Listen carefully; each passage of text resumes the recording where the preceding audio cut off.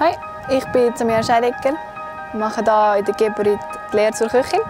Ich bin im zweiten Lehrjahr und ich zeige euch heute mal, was ich so mache. Kommt doch mal mit!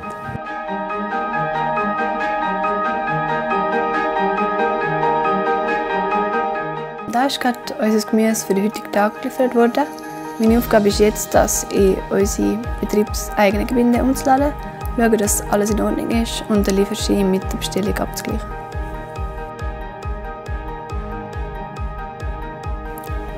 Bin jetzt gerade am Zwiebeln vorbereiten für die Elbelmakarone heute Mittag.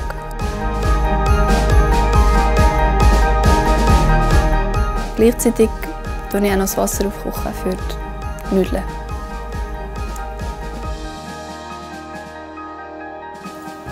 Ich bin jetzt gerade an unserer Speisausgabe. Meine Aufgabe ist, Speisen für unseren Gast möglichst schnell und schön anzurichten. Schaue darauf, dass alles vom Tellerrand wegbleibt und wenn es dann doch daneben geht, tue ich das mit einem Tüchlein wegputzen.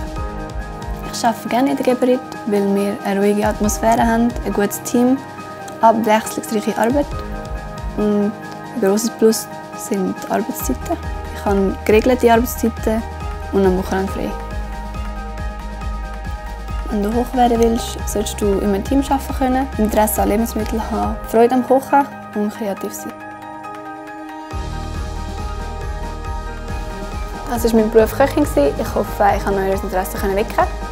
Wir würden uns über eure Bewerbung freuen und wenn ihr euch bei uns vorstellen würdet. Weitere Informationen findest du auf unserer Internetseite www.geberit.ch/brosbild.